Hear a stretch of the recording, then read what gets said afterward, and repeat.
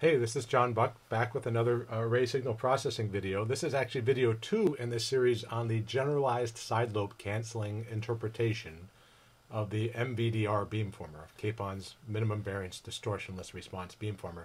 So I assume in this video you've already you've just watched the video on finding the inverse of the spatial covariance matrix for the single interferer case, uh, and then uh, I'm going to go on and, and talk about once we plug that expression in for the array weight vector, what do we find? So if you haven't watched that video, stop this one, go back and watch the first, first video in the series, and then come back and uh, come back to this video for the exciting conclusion for the finding the weight vector W naught.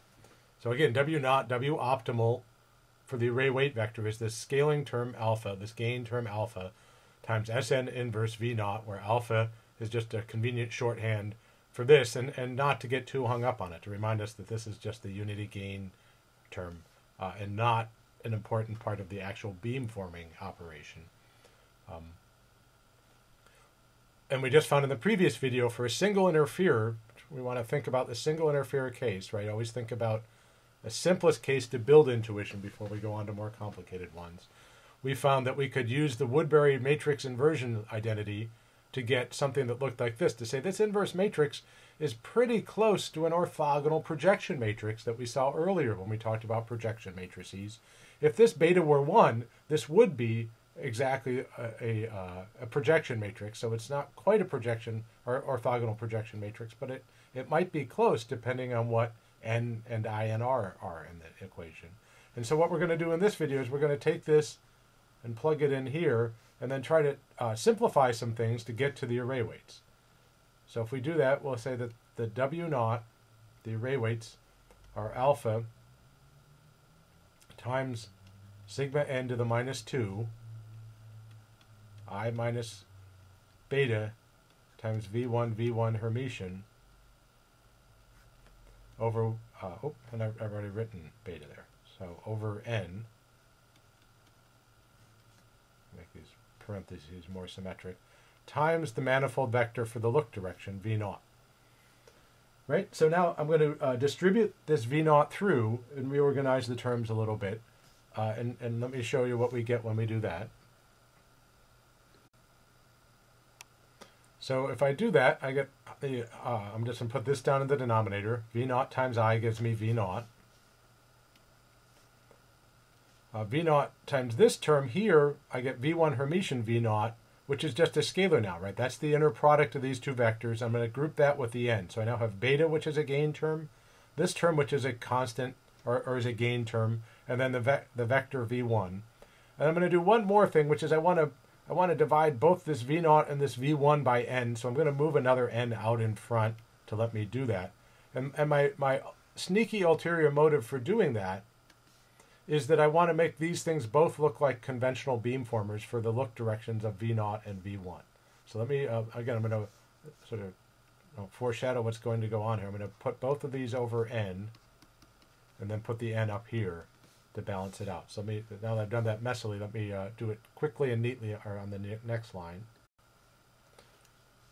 So when I, I think about what's going on here, I have a gain term out front uh, that then uh, I have this term here. Well, this is the CBF for my look direction. Right, this is saying if it wasn't for the pesky interferer, I would just be using this this thing, this this CBF. But I can't. I'm going to do. I'm going to take that and then I'm going to subtract off, well, a couple of constant gain terms here. And then this thing would be the CBF for the interferer direction. Right? So it's like I've taken a CBF for the interferer direction. I'm scaling it by something here that is a, uh, a is like the beam pattern for if I were looking in the interferer direction, what would be the beam pattern in the look direction when I had steered to the interferer? So this CBF, and then I've got this other gain term here, this beta that was my temporary variable earlier that depends on the number of sensors and how loud the interferer is compared to the background noise. Well, whenever I see a sum or difference of two things, I should think about parallel branches, right? Uh, if I'm going to draw a block diagram, I'll have this in parallel branches. So let me uh, let me stop the video and I'll I'll show you the the block diagram on the next page.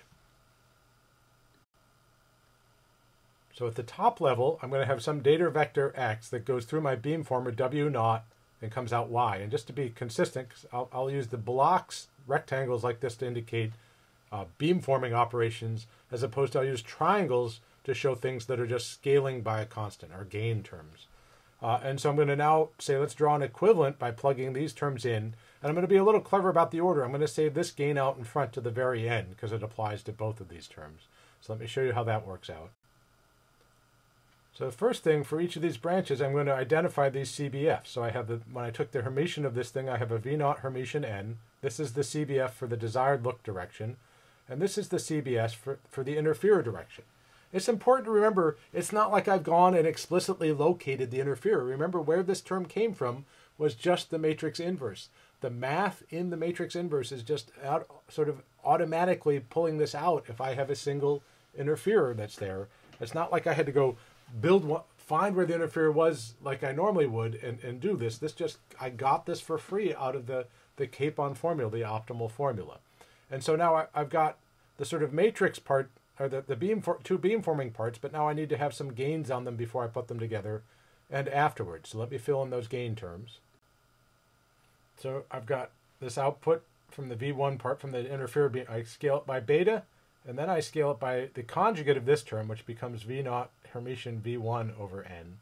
And then I'm going to subtract those two. So I say I have a, I bring these two back together, but subtracting the bottom branch. So all this stuff related to the interferer direction that I just get for free out of the matrix inverse, essentially, I'm, I'm subtracting off from the top one. And then I'm going to I'm going to scoot over to give myself a little more room. I have one more gain block, which is the alpha n over sigma n squared.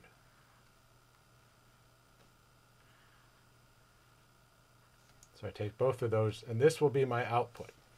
And so this is where we get, in fact, this layout, this kind of block diagram should look kind of familiar to things you saw earlier in that we saw earlier with null steering. This idea of I have a CBF in the look direction minus something in the direction I want the null.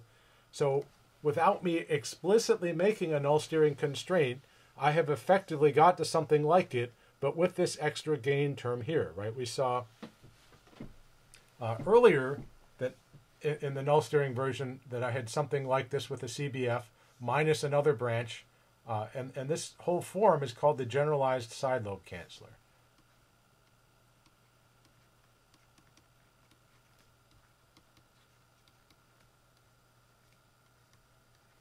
And so this is a, a very, very useful way to think about what's going on in an adaptive beamformer that is, uh, and, and, can be a way, you can't really implement it like this because you're just sort of getting this for free inside the matrix inverse. But conceptually, it helps us to think about it this way, saying, oh, what it's doing is like taking what I would have had from the CBF, also taking for any direct and direction, taking some the interferer direction, estimating the signal from that direction, scaling it by beta, well, this beta, if you look at it, if you've seen estimation theory, this is the Wiener filter gain, or the Wiener gain, for the interferer direction. So what that tells me is I'm finding the minimum mean squared error estimate of the amplitude of the signal coming from, from the interferer direction, which if the interferer is loud will be a pretty good estimate. And then this term here, because of the conjugate, I can think of this now is like the beam pattern in the, the look direction evaluated in the interferer direction. Right? So it's like saying I figure I'm, I take this branch here to do my minimum mean squared error estimate of what the signal is coming from the interferer direction. I'm going to scale it by the beam pattern that's telling me how much of that would be crosstalk into my look direction and subtract it out of what I found from the look direction, saying, well, this has uh, the stuff I want plus a whole bunch of interfering stuff and this bottom branch is my best estimate of that interfering stuff I'm going to subtract out. And then this is the scaling essentially for the unity gain at the end. That this can be simplified with some algebra, but conceptually it's not important. What is important is I take my best estimate of what's coming from the interferer direction. This the first two blocks are my best estimate. I scale it by the gain based on the side lobe I'm going to have in the interferer direction when I'm looking in the V naught direction. and take all that and subtract it off what I got from the V naught direction to get my beamformer in that direction. So that's a really useful, powerful result. Let me maybe making this beam pattern thing a little clearer here. Right, what's going on around here is we're saying we've got some beam pattern like this. When it's steered in the U naught direction, right? For, so so they're steered in the look direction for U naught. This is my, my desired direction in the top branch. I'm saying this point, this this gain here, this is the B that I would be seeing in the interferer direction. So how much of the interferer power of the interferer that I, or how much of this interferer signal here I expected to be scaled by the side lobe and then subtract off what that was. Right? So this is a, a, a very helpful, useful interpretation. A couple other comments. Although we've done it for the single interferer case, you can do it for more and more interferers and, and have more and more linear algebra to get through, but not really any more conceptual ideas. Each, in, each interferer will give you another branch like this with possibly another game that has to do not only with the crosstalk to the top branch, but how much uh, how much crosstalk you already have with the existing branches if they're not orthogonal. So if the interferers are not all orthogonal to each other, you'll have a little bit to say, well, you know, I already subtracted a little bit of crosstalk from that in the earlier branches. A lot of algebra, not a lot of ideas. Same basic idea is take the CBF in the look direction, and, and you can interpret what the optimal MVDR beamformer is doing is making these distinct estimates for each interferer that appears in SN and, and subtracting it off before I get to the final output. Okay, so that's the generalized side lobe interpretation of MVDR. Again, not a way we necessarily build these things, but it lets us make connections saying, well, if beta goes to 1, I can show what's going on here is essentially what I already had in my CBF to, or in my null steering to begin with. So at, at one extreme, when beta goes to 1, this acts like the uh, the null steering case I already know about. At the other extreme, if beta went to zero, well, this whole bottom branch just gets turned off, right? I have a gain of zero here, and I'm back to a CBF. And so that's kind of reasonable as well. So, it, so there's, there's nice behavior at either extreme of the two. And so the generalized side lobe canceller turns out to be an important way to interpret what's going on inside that matrix inverse inside the MVDR beamformer. So I've said enough about that. I'll stop now. Uh, and we'll pick up the discussion in class tomorrow with some more examples of thinking about how MVDR behaves. Okay, let's see, see you next time.